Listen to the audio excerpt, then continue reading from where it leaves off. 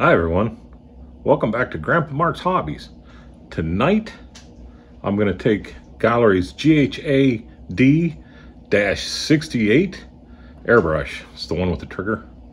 And I'm going to put it through its paces with some uh, Tamiya's X18, I think it is, uh, semi-gloss black. I got a 0.5 millimeter tip in it, which is way bigger than I would want to use for what I'm going to do. But I want to see how this sprays this semi-gloss black on a spoon and on some of the interior. So stick around because this is going to be good. All right, like I said, X18 semi-gloss black. Um, we're going to have some Tamiya's paint retarder and Tamiya's X-20A thinner. We're going to use two, not two, but we're going to use three pipettes. A mini solo cup. And I've started putting the solo cup in a uh, Tamiya's spray can cap so it doesn't fall over anymore. I'm tired of spilling paint on my thing. And we're going to use a couple of spoons as a test for uh, just to see how the airbrush works with the how I got it thinned. I'd rather test it on that than test it on the uh, uh, the, the kit itself. So let's mix up some paint here. We're going to start out by getting uh, three, I think I used three pipettes of semi-gloss black. Squirt it right into the mini solo cup. I got those on Amazon for dirt cheap. I think there was 500 of them in the box that came. And as you can see in the left-hand corner, I use a lot of them. so, okay, we got our our paint uh, bottle capped so I don't spill it all over the place. Now we're going to use the uh, retarder, and that stinking washer gives me trouble all the time. I don't know if you have the retarder, if your uh, washer comes off every time you use it, like mine does, but it's a little frustrating. So now we're going to put 10 drops in here with three pipettes, I usually use about 10 drops. Um, my basement is pretty dry. I think I'm right at like 50% humidity, 53% humidity, right around there. So I like to use a little extra. Now we're going to add thinner to it. And don't ask me my mix because I do it um, by eye every time because, like I said, it changes with humidity changes with the paint because I do paint out of the bottles. And uh, my paint might be a little thicker, a little thinner, depending on how long I've been painting out of the bottle. So we're getting close. I'm going to add just a little bit, not even a full pipette. I'll stir it up. When you're stirring it, make sure you're squeezing the pipette a little bit too, like I did here. And what that does is that'll make sure that the paint inside the pipette is the same consistency as outside so you don't accidentally put thicker paint in your airbrush when you first start spraying, like I've done before. So now I'm getting real close here. You can see it's pretty thin. Um, I'm happy with that. We're going to get that pipette I saved. We're going to get the thinner out the way. I'm going to grab a used um, spoon here.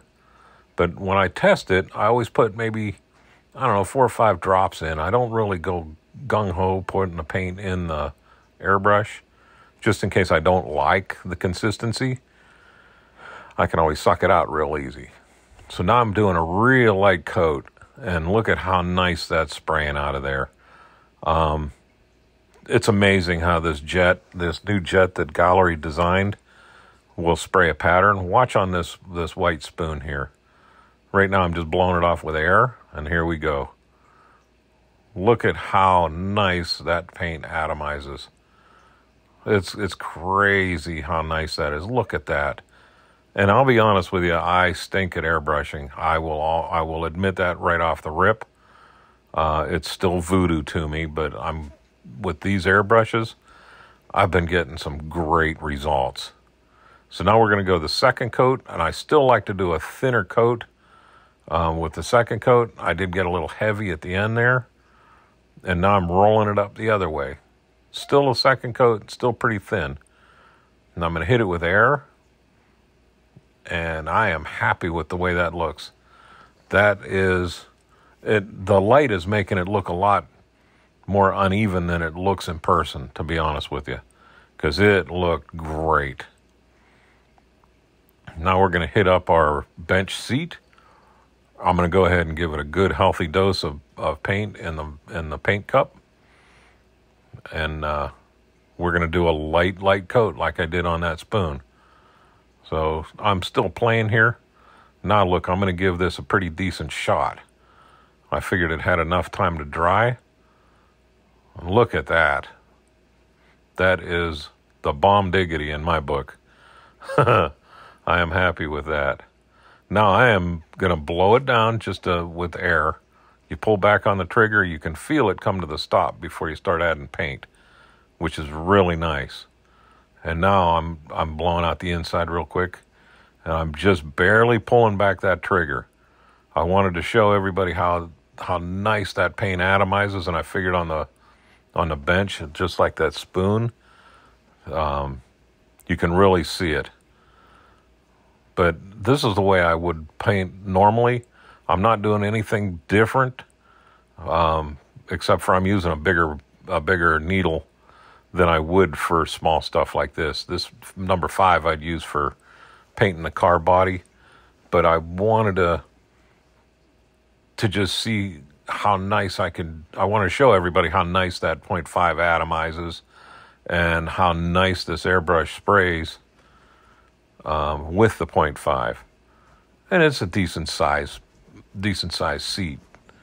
So it shows it off pretty good. But now, by the time that I got done with the back, the front coat was already done.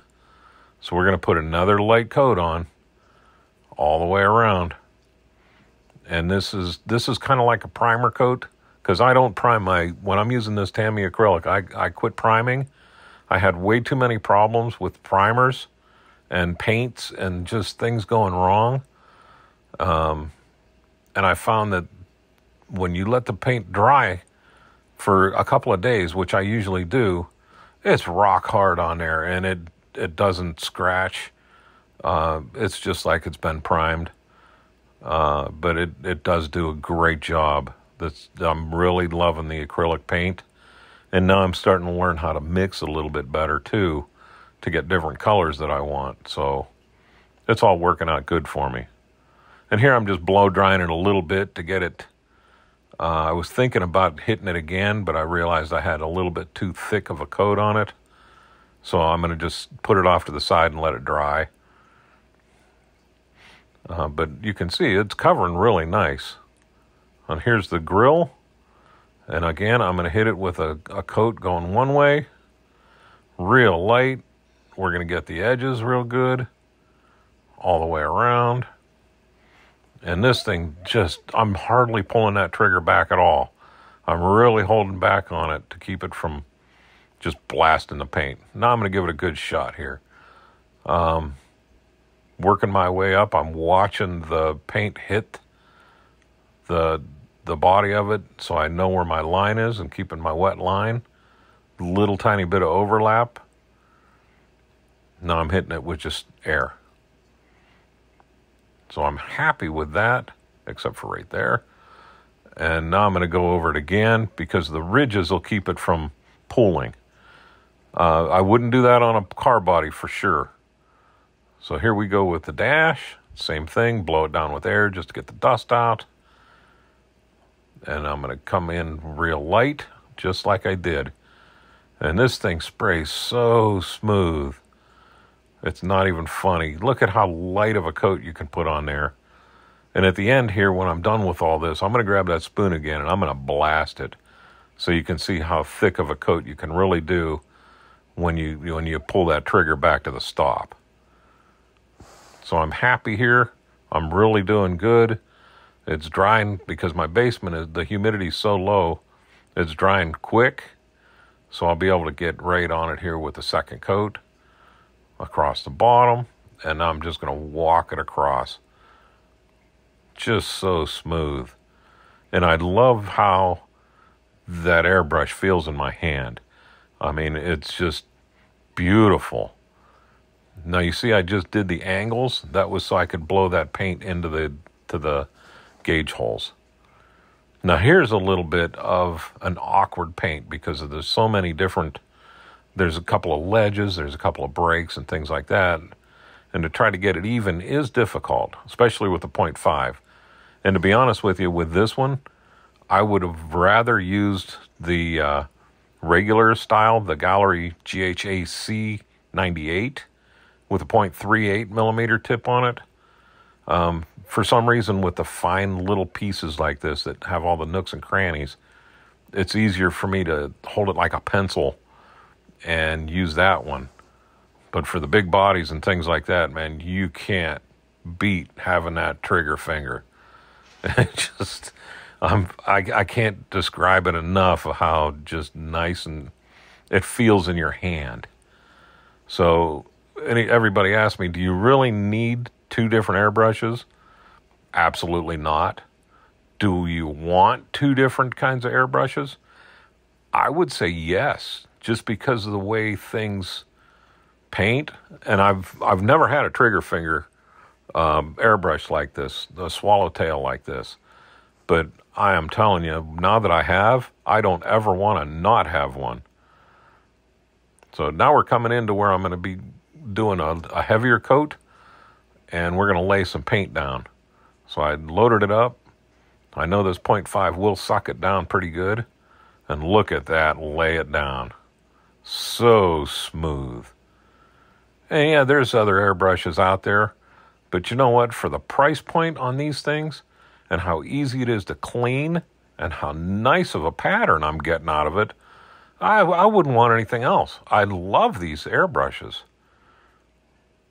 So look at that. I mean, you can see the pattern, um, and you can also see how it atomizes by the the overspray around it. Now, I didn't want this thing to be perfectly smooth, flat color. I wanted to have a little bit of shading in there. The rest of it I'm going to lay down to where it's smooth. Now, look at on these small parts. You can see that where the spray comes out and how fine the atomization is in this, if that's even a word. but I am loving it. Um, it's just so easy to use and so easy to get great results. You know, I've I've been buying some of the cheaper ones and using the cheaper ones, and yeah, they do an okay job. And I I always thought they were doing a great job until I grabbed this thing, and now I realize that man, I can really do. I can. There's a lot of room for improvement, and I am improving every time I use it. But just the airbrush alone was a game changer for the way some of my my stuff comes out. Now watch here. I am going to unload on this thing. It looks great. I just wanted to show you how much I'm how much paint you can dump here real quick. Watch this. Boom. it's I'm pulling the trigger all the way back right now. And that really came out a lot of paint. So, it, I mean, look at how smooth that is. If that was gloss black, you could walk away proud with that. I am happy. So now we're going to go into cleaning. If you if you just wanted to watch me paint, you can jump off right now. But we only got maybe 10 minutes worth of cleaning this thing up, and you can see how easy it is to tear down. Um, I like to suck the paint out of the cup with a pipette uh, it gets a lot of paint out of there, and I don't feel like I'm wasting a whole lot because I do recycle my paint. Um, as you can see right here, it's I, I've been doing it forever. You know, there's there's pros and cons with it. Yeah, I know I'm putting the retarder right in there. I'm putting thinner in there and everything. But again, I paint with an open bottle. So as I have the bottle open and I know I shouldn't be using the cap as a as a paint pot, but but I do. So as I'm using the cap as a paint pot, I am the paint in the bottle is drying out a little bit. So you know, it's it's kind of a payback or a pay off. And I got paint on my hand. I did so good until the end. So I'm going to clean myself up. We're going to get that bottle out of the way, get the tools in. Now that's that, the, in the middle there, remember that black is the uh, spray can lid from a Tamiya's uh, rattle can. And it just, I've dumped four or five of those stinking solo cups on there to where with a pipette it just flips over even with paint in there. And I just say some bad words that I shouldn't ever say. And it takes 10, 15 minutes to clean up and all that. And that was just, it's a nice way to not spill paint all over the table. So right now I just put a little bit of my airbrush cleaner right in on an old rag and I'm going to use that to wipe out the cup. Uh, before I even start cleaning, I'll I'll wipe out the cup. And the other thing, all these um, Gaahleri brushes, the uh, GHA D9068 uh, and the the GHA C98 or 96, I'm sorry, come with a quick disconnect on them. So if you have a quick disconnect on your hose, you just pop it right in there. And uh, what's nice with that is it's almost like a swivel. When I'm cleaning up, you'll watch, I can spin that thing around, you know, and it doesn't twist up the hose. So here I put some thinner in the uh, uh, the solo cup. I'm going to put a few drops. I don't fill the cup up, but I'm going to put a few drops into the cup, and then I'm going to put my finger over the edge and I'm going to pull back just a little bit on the trigger, start pushing the air back across all the paint, and it helps break it up and loosen it up for when I blow it out. Now I'm going to take my uh, paint cup or my paint can or cleaner or whatever they call them, and I'm going to blow that into it. And you'll see every once in a while I'll be pulling my finger back and forth with the trigger just to loosen that up that's on you know, making all the parts move so I'm getting that thinner wrapped around everything. Now we're going to do it one more time, just with a couple. You see, I don't have to put a lot of that in there. You really don't need it. And look at that's pretty clear right now. You don't see a whole lot of that black in there. There is some in there, but not a whole lot, and it's really diluted. So I'm going to blow that out of there all the way, and then we can start tearing this down. But you see, I'm I'll I'll work my finger here a couple of times just to uh, work that paint around the needle, uh, pull the needle back and forth a little bit, just to help move. And look at this. There's nothing on there. So it, that airbrush cleaner, I really like that stuff. Uh, it's not super expensive. So, and it lasts a long time. You don't need a whole lot of it.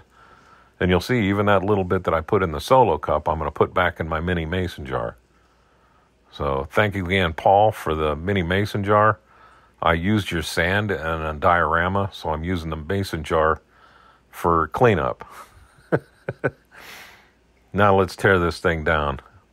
It doesn't have to be tight. It's super duper tight. Take off the, the cover and now I can see the needle. I pull the needle back out of the way, and I'll take off the, the jet cap and the jet, and I'm going to push the needle forward instead of pulling it backwards. And that keeps all the paint that's on the needle from dragging up through the O ring in the back and through the mechanism and everything. And I'm going to wipe the needle off with that uh, paper towel that I put some of the airbrush cleaner on. And I just pull it through there two, three times. Be careful you don't bend your needle doing this. Uh, be careful you don't stab yourself in the finger doing it. Uh, but that's all it takes to clean a needle. And I'm telling you, I, I actually asked Gaahleri if they polish the needles when they send them because I looked at that thing with my strongest uh, magnifying glasses on my visor and it looks like it's polished. So they say that's the process that they use. Um, when they manufacture it, they didn't really say yes. We we uh, polish it, but dang it, it is smooth as glass. And I'm I'm always afraid of if I try to polish it, of uh, messing up the angle on the needle or or stuff like that. So I never do polish mine. And you saw the results. You can't get any better than that. So now I pulled the cap off, wiped it down. I got my little cleaning tools here. All right, now I realize that I need a little bit more uh, thinner in my mason jar because I like to flush things out, and I I'd rather have it in the mason jar than try to work it out of that big bottle. But that airbrush cleaner, I really like this stuff. Get it on Amazon. Um, I get a lot of my stuff off Amazon because there's really no hobby shops in my area. So, you know, it's just the way it is. If I had a local, I'd be there more often. Um, but I don't. So right now I'm just taking my largest bristle brush and cleaning out the uh, underneath the cup, and I'm taking my smallest one. Now I'm going to put it in here, but I watch so I don't go past the O-ring in the back. There's no sense in, in sanding my O-ring. So I just come in across where all the paint is, come up to that O-ring, and then pull back out. And now what I'm going to do is I'm going to flush it out from the from the cup side out and just push all the anything that's in there right out and get rid of it. This thing cleans up like a dream. I don't I don't know if it's the way it's treated, uh, the chrome that they do on it, but it just seems like it cleans so nice for me. Um, couple of Q-tips, uh, five minutes, you know, and I could be painting this or painting four or five different colors, and I get the same results. It it just does not take long to clean up at all. So I'm loving these brushes. Uh, Gaahleri has really, I mean, they have they have field gold this one because it is just, it's a nice, nice, nice airbrush. Now I'm just out of out of folk or out of screen. Of course, I just wiped it off. Um, made sure it's good. We're going to put the lid on that and get it out of the way uh, just so I don't bump it and knock it over while I'm doing the rest. Uh, I'm going to use my tweezers. I like these bent tweezers to grab this stuff. I'll get a hold of it and give it a shake. I, I grab the uh, jet cap. And now I'm just going to use a Q-tip, do a quick cleaning up and down, wipe anything off that's on there, which there usually isn't anything really. But what I'll do now is I'll take the pipette, squeeze up some, and I'm going to put it inside and I'm going to push it right through that little nozzle. And two or three times just to to get everything out, make sure and dry it off and I'm going to throw it in my little my little hospital bin here so I don't lose it, end up in the carpet monster or underneath my filter. I've had that happen before uh, cheap homemade. All that is is a uh, a plastic Home Depot tote that I cut and put a, a bathroom fan in and uh, a filter case on the front. I got a video for how I made it if you want to see. But now I'm doing the the uh, little protector. The I I don't know what they really call it. I always call it a needle protector. And with as little as I painted, there's not going to be anything on that thing. It will build up a little bit, but I've never had it build up a whole lot. Even painting a lot, it, it hasn't built up. I was impressed with that. My old one would, no matter what I would do, would start building up to where I would have to take it off and clean it even. And I think that's just the way the paint was coming out of it, was coming out on a wider angle and hitting it. So now this is my little reamer. And what I'm going to do is I'm going to dip this in my cleaner. I'm going to just set the jet on it. And I'm not pulling back. I'm just running it across my finger just to get any paint that's stuck on there unstuck. And now I'm going to take it with the pointy side up. And I'm going to put my pipette on there and get a good seal pushed on pretty hard. And I'm going to squirt that all the other way backwards through that jet and uh, knocks all the paint out that would have been loosened up with the reamer. And it does a, that little reamer with a little bit. And I, like I said, I'm not really reaming it out. I'm just loosening the paint up, is all. So we'll put the jet on. Now I'm going to put the jet cap on. And make sure this goes on nice. You don't need to jam it. If it feels like it's jamming at all or it's tight, stop and look at what you're doing. Put the needle cover on or the protector on. Now I'll drop the needle in. Be careful with this so you don't bend that tip. Push it down, you'll feel it go through the O ring and then come up and hit the stop. You don't have to jam it in there. Once it makes contact, you're done. That's good enough. We'll put the back on. We got the cup on. And we are done. Uh, I like to do one more thing here. I'm going to wipe this off real good. To uh, just make sure there's no paint left on it. Get my stuff out of the way here. And uh, like I said, I'll wipe it down one more time just to get all the the the um, cleaner off of it. But I love this airbrush. It is really a fantastic piece of equipment. Now I'll do this one more time I'll take the pipette and I'll just put uh, two, three, four drops in there. And uh, I will spray that out just to get rid of any of the airbrush cleaner. Push it out for next time in case I don't run anything through it first before I put paint in there. I don't have airbrush cleaner in there that'll jerk up my, my uh, finish. Wipe it down one more time. Take a good look at it. Give it a kiss. put it to bed. Thank you very much for watching. I hope you got anything out of this. Y'all have a great night and a better tomorrow.